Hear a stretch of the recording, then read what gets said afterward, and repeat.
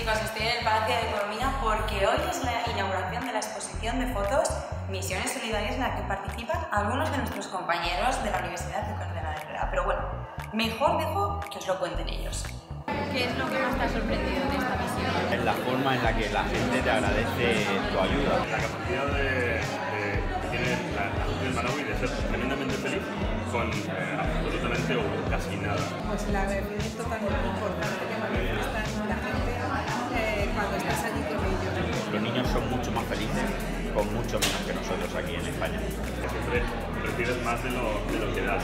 Lo que uno siente en una misión humanitaria es indescriptible. Es una experiencia para, para compartir. Esa ha sido la experiencia de nuestra vida, la verdad. O sea, mis compañeros de la Universidad CEU eh, les recomiendo encarecidamente que se apunten a cualquier misión humanitaria.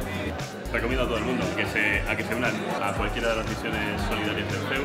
Para mí es súper enriquecedor y os invito a todos a que realicéis una misión ya sea a nivel local o a nivel internacional para aportar vuestro granito de arena y hacer el mundo un poquito mejor.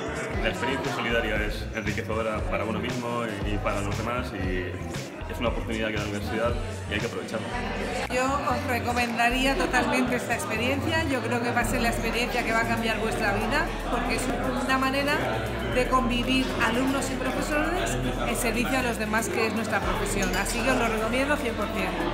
Apuntaros y no dudéis en hacer clic aquí abajo para ver más